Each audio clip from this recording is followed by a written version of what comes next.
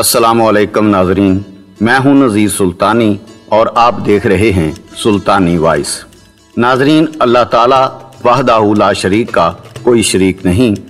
इसीलिए मुख्तलिफ़ अदवार में कमो बेश एक लाख चौबीस हज़ार पैगंबर आए, जिन्होंने अल्लाह का पैगाम लोगों तक पहुँचाया कि अल्लाह एक है, उसका कोई शरीक नहीं।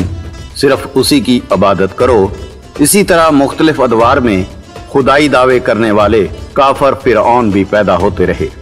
आज हम इस वीडियो में तीन ऐसे काफरों का ज़िक्र करेंगे, जिन्होंने खुदाई दावे किए और अल्लाह के गजब का शिकार हुए। नंबर एक, थॉमस एंड्रियो। दोस्तों, ये शख्स जो आप देख रहे हैं, ये एक ब्रिटिश बिजनेसमैन और शिप बिल्डर था, जो बहरी जहाज़ को डिज़ाइन करता था। ये वही शख्स है जिसने दुनिया का सबसे बड़ा जहाज़ टाइटैनिक बनाया। टाइटैनिक का मतलब है कि इसे खुदा भी गर्क नहीं कर सकता। वैसे ये बहुत माहिर इंजीनियर था, लेकिन ये अपने तजर्बे को लेकर कुछ ज़्यादा ही गरूर में था। जब उसने ये जहाज़ बनाया तो उसका मानना था कि ये जहाज़ कभी नहीं डूब सकता, और इसको खुदा भी समंदर में गर्क नहीं कर सकता।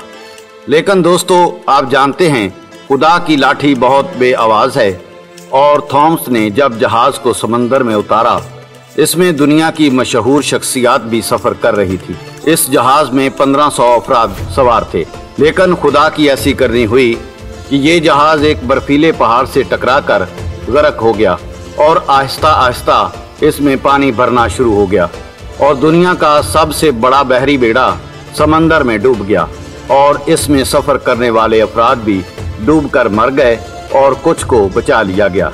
थॉम्स ने खुदा को चैलेंज किया था और अल्लाह ने उसको और उसके जहाज़ को पानी में गर्क कर दिया। और थॉम्स की आज तक किसी को लाश भी नहीं मिली।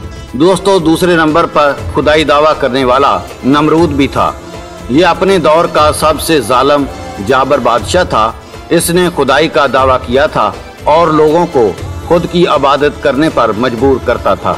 जब हज़रत इब्राहिम अलैहिस्सलाम ने इसे खुदा को मानने की दावत दी तो इसे बहुत गुस्सा आया। तो उसने कहा, पहले जाओ, अपने खुदा से कहो कि वो फौज भेजे और मेरा मुकाबला करे। तो अल्लाह ने उसका मुकाबला करने के लिए मच्छरों की फौज भेजी और फिर मच्छरों ने नमरूद की फौज को तबाह कर दिया। और इनमें से एक मच्छर नमरूद की नाक के ज़रिए इसके दिमाग में चला गया।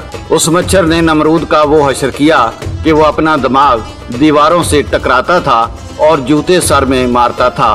और अल्लाह ने इसे इतनी छोटी मखलूक के ज़रिए इस मकाम तक पहुँचा दिया कि जो लोग इसकी इबादत करते थे, वो भी इसके सर पर जूतियाँ मारने लगे, जिससे ये बहुत अजियत के साथ मरा। अब्राहा दोस्तों, इब्राहा यमन का एक जालम बादशाह था। और उसने यमन में एक गिरजाघर बनाया था, और वो ये चाहता था कि वहाँ के लोग इस गिरजाघर में आकर उसकी इबादत करें, और मक्का के तमाम लोग अपना मज़हब छोड़कर इसकी इबादत करें, और इसे अपना खुदा माने। लेकिन जब मक्का के लोगों ने बगावत की तो उसने गुस्से में आकर कसम खाई कि वो खाना काबा को गिरा देगा, और ये अपनी फौज लेकर मक्का मुकरमा पहुँच गया, जिसमें हज़ारों की तादाद में हाथी, घोड़े ऊँट शामिल थे और जब ये फौज लेकर खाना काबा के पास पहुँचा तो अल्लाह ताला ने एक परिंदों की फौज भेजी, जिसे अबाबील कहा जाता है। परिंदों ने इस फौज पर कैंकरियों से हमला किया, जिनसे उसके हाथी घोड़े और ऊँट डर कर भागे और उसकी बगदड़ में ही उसकी फौज हाथियों के पैरों तले कुचलती गई।